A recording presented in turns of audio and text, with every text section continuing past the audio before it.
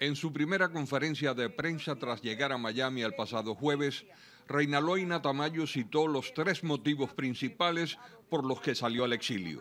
Dar digna sepultura a las cenizas de su hijo, salvar a su familia de los peligros que se cernían sobre ella y continuar la lucha contra el régimen de Fidel y Raúl Castro. Lucharemos siempre por derribar al tirano, a los hermanos Castro que son asesinos me asesinaron a Orlando Zapata Tamayo y querían asesinar a esta madre conjuntamente con su familia. Y el mensaje que le damos a los hermanos Castro desde aquí es abajo Fidel, abajo, Raúl, abajo. los asesinos Zapata, Cuba libre, viva, viva Cuba libre, viva, viva Cuba libre sin dictadura. ¡Viva! ¡Zapata! ¡Vive! ¡Zapata! ¡Vive! ¡Zapata! ¡Vive! En respuesta a las preguntas de los periodistas sobre los maltratos y humillaciones que recibió su familia, la humilde mujer relató las vejaciones de que fue víctima.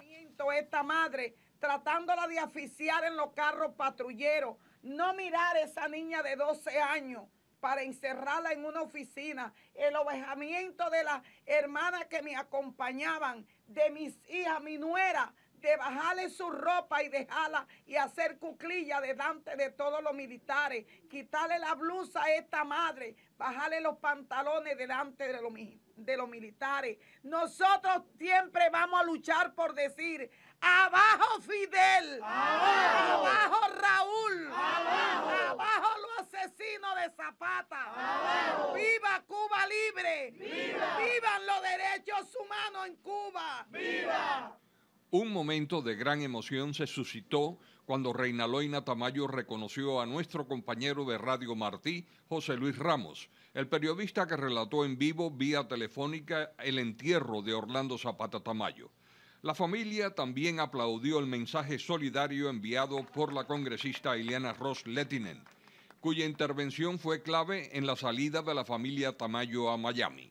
Los representantes David Rivera y Mario Díaz Valar le dieron la bienvenida. Primero quiero dar la bienvenida y expresar nuestro apoyo y solidaridad a, usted, a su familia y a la causa de una Cuba libre, una Cuba democrática.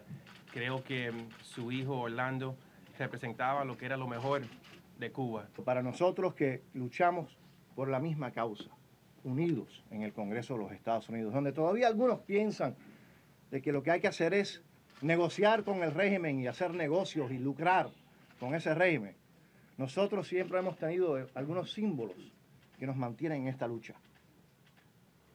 Ese símbolo, esa memoria de Zapata, que siempre vivirá con nosotros, es lo que nos ha mantenido unidos y quiero que sepas que te admiramos, te respetamos, te queremos a ti y a tu familia.